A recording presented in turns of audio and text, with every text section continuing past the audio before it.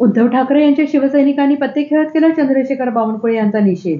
धुळे शहरातील पांझरा नदीकाठी तयार करण्यात आलेल्या सात कोटी खर्चाच्या संत रविदास गार्डनमध्ये चार दिवसासाठी भाडेतत्वावर लेझर कारंजे आणून धुळेकरांचे मनोरंजन करण्यात येत असल्याचे मनाई शिवसेना ठाकरे गट यांच्या वतीनं उद्यानाच्या उद्घाटनापूर्वी तीव्र आंदोलन करण्यात आले. सावरकर पुतळा सुशोभीकरण पांझरा चौपाटी रस्त्यासह नदीकाठच्या अकरा किलोमीटर रस्त्यांच्या कामाकडे वाजपेयींचं सक्षम दुर्लक्ष झालेलं आहे असा गंभीर आरोप यावेळी करण्यात आला. धुळे शहरात सत्ताधारी भाजपातर्फे पांढरा चौपाटीवर सात कोटी रुपये खर्च करून संत रविदास गार्डनची निर्मिती करून या गार्डनचे उद्घाटन आज भाजपाचे प्रदेशाध्यक्ष चंद्रशेखर बावनकुळे यांच्या प्रमुख उपस्थितीत करण्यात येते.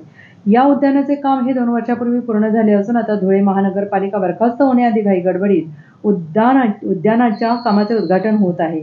पाच वर्षात सत्ताधारी भाजपाने या वर्षात या शस्त्रासाठी एक रुपयाचा निधी आणला नाही. धुळे शहरात पांझरा नदी किनारी रस्ते बनवण्याचा ड्रीम प्रोजेक्ट माजी आमदार अनिल गोटे यांनी केला. पण धुळे शहरातील राष्ट्रीय पक्षांनी हा रस्ता अनिल गोटे यांच्या मालकीचा ठरवून या रस्त्याच्या दुरावस्थेकडे नेहमीच दुर्लक्ष केले. धुळ्यात आज उद्धव ठाकरे यांच्या शिवसैनिकांनी पत्ते खेळत भारतीय जनता पक्षाचे चंद्र प्रदेशाध्यक्ष चंद्रशेखर बावनकुळे यांचा अनोखा निषेध केला.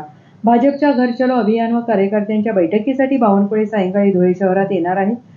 त्या पार्श्वभूमीवर हे आंदोलन करण्यात आले. विशेष म्हणजे चंद्रशेखर बावनकुळे मनपाच्या ज्या उद्घाट उद्यानाचे उद्घाटन करणार आहे त्या उद्यानात हे आंदोलन करण्यात आले.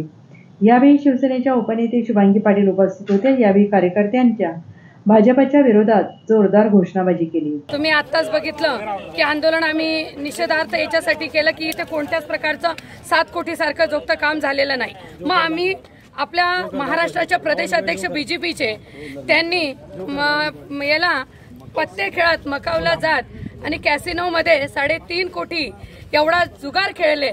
त्याच्या आणि त्याच्यात जर जिंकले असतील तर त्यांना आमची विनंती आहे की आमच्या धुळ्याच्या रस्त्याची अवस्था अगदी दुरावस्था झालेली आहे.